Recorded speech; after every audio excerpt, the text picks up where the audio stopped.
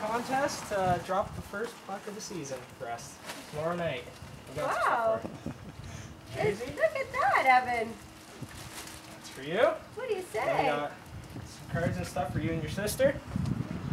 This is Stefan. How's it going, buddy? Nice to meet you. Thanks for all your support. You know that guy. You know me, yeah. eh? Oh, thanks, guys. A bunch of stuff for you guys.